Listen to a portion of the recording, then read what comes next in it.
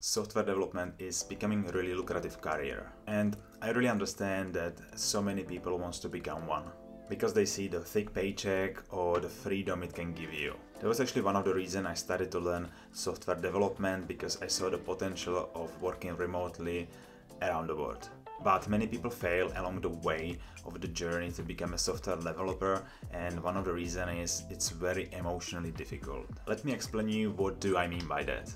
You are here and this is your emotional level and this is your journey to a software developer career. You decide you will start learning and change your career to become the best software developer on the planet. As a majority of us will go on YouTube and type how to become a software developer. Most of the results you will see is to start learning HTML and CSS, which is absolutely okay, but it has some downside you will start learning and your level of confidence grows because you're just becoming better and better.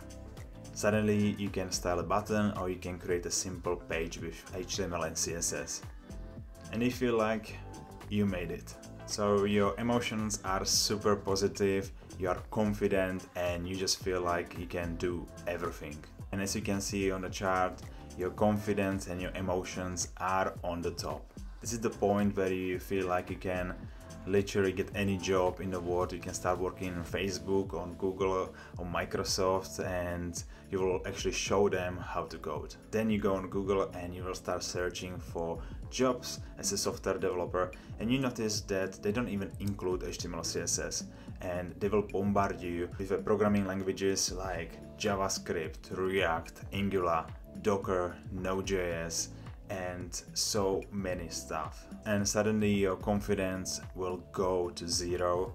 And this is the point where majority of people actually fail and they will never come back to it. Because they see that in order to actually get a job get a first step you need to learn all these things.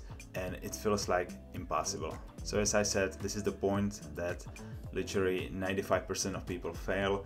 They will just never come back to it Naughty, naughty. And I absolutely understand them because I was there as well. Here actually only two options. You either quit and you will regret that you never pursue this career that could actually change your life.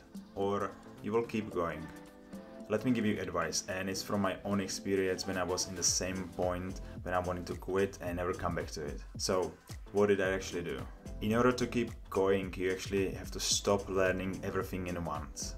Let me give you an example. Let's say you want to build a new car and you will start learning everything. That will be so overwhelming that probably everybody would just stop and do something else. Because people who specialize in this field, they spend years and years to learn how to build a car. It doesn't just happen overnight.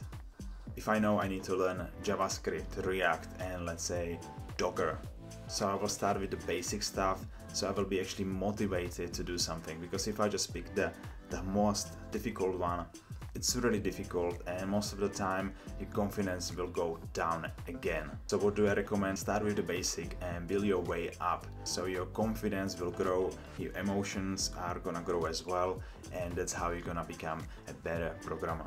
Once I learn JavaScript, I will move on to React and as well I will start with the basic stuff and I will build projects I will build small projects first and then I will build more and more projects so I will become more confident, more emotionally stable. So this is my advice guys, I hope you enjoyed this video and I will see you next time. Peace.